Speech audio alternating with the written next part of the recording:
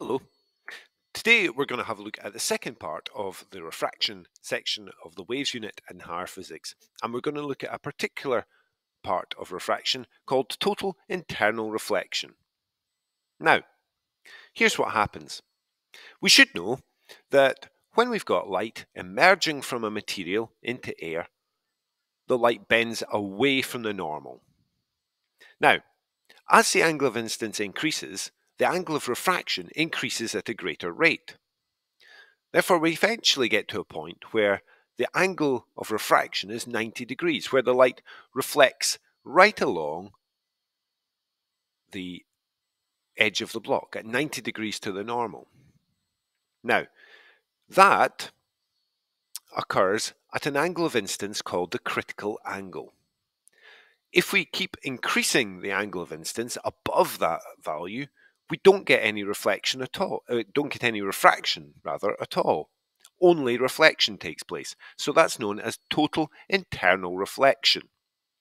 So, as the angle of refraction increases, eventually it gets to 90 degrees, and above that, only reflection takes place. Now, let's look at these three situations. If the angle of incidence is small, 30 degrees in this case, that's less than the critical angle of this material, and therefore we get refraction occurring and a bit of reflection. If we increase that angle of incidence to the critical angle, 42 degrees in this case for this particular material, then the light is refracted at 90 degrees and we get slightly more reflection occurring.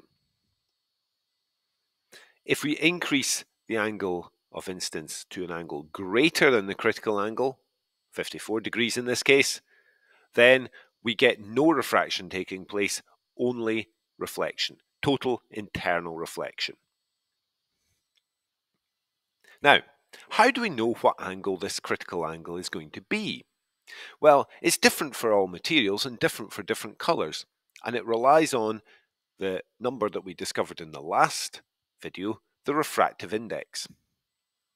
Here we've got light hitting the inside surface of the block equal to the critical angle, and the angle of refraction is 90 degrees. Now, in the last video we learned about Snell's law, about the law regarding refraction of light in materials. And we said that the angle, uh, the uh, critical angle is equal to sine theta 1 over sine theta 2, which is sine of the angle in the material divided by the sine, sine of the angle in air, rather, divided by the sine of the angle in the material. So, theta 1, the angle in air, theta 2, the angle in the material, the angle of incidence in the material. Now, in this case, theta 1 is 90 degrees, and theta 2 is the critical angle. So in this case, we've got n equals sine 90 over sine of the critical angle. Now, from your maths lessons, you'll maybe remember that sine of 90 is 1. So actually, we end up with the refractive index is equal to 1 divided by sine of the critical angle. Now, we can rearrange this formula a little bit, and we get sine theta c equals 1 over refractive index, or indeed the critical angle is equal to the inverse sine of 1 over the refractive index, which is quite a useful thing to remember. So let's put this into practice a little bit. Here's an example. The refractive index of a glass block is found to be 1.44 when red light is used. Part 1. What is the value of the critical angle for this red light in the glass? So, we have this formula, n equals 1 over sine theta c.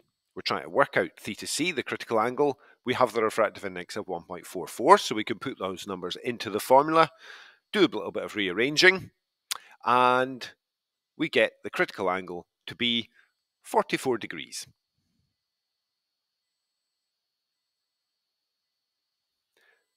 Here's the second part of the question. The diagram shows the path of two rays of this red light, PO and QO, in the glass. When rays PO and QO strike the glass air boundary, three further rays of light are observed. Copy and complete the diagram to show all five rays. So the two incoming rays and then the three further rays that are produced. So let's consider QO first. Now, what we need to remember is what we worked out in the last uh, last part of the question, that the critical angle for this glass is 44 degrees. So we can see that QO is hitting the inside surface of the glass at an angle of 20 degrees, which is smaller than the critical angle. If the angle of instance is smaller than the critical angle, then we will get refraction and a bit of reflection as well. So we can find out the angle of refraction using our Snell's law formula, n equals sine theta 1 over sine theta 2.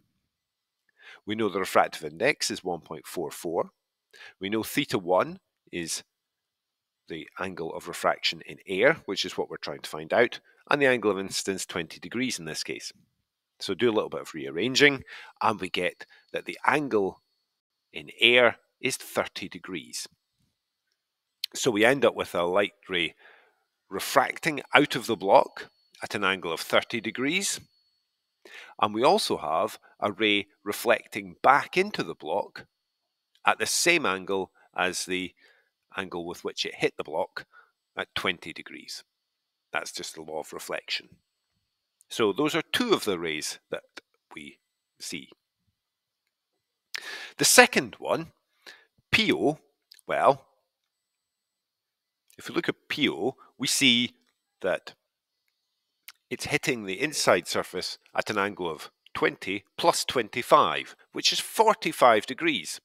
Now remember, our critical angle is 44 degrees. So this angle of instance is actually slightly greater than the critical angle.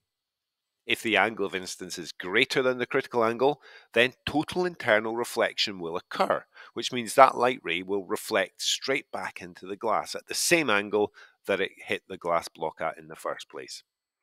In this case, 45 degrees. So those are the three rays that are produced. The ray emerging at 30 degrees back into the air, the ray reflecting at 20 degrees back into the block, and the ray at 45 degrees reflecting back into the block as well. So, that brings us to the end of this video and the end of the refraction part of the topic. In the next video, we're going to talk about the Bohr model of the atom and how that gives rise to line spectra. But until then, I hope you found this useful and I will see you again after a while. Bye for now.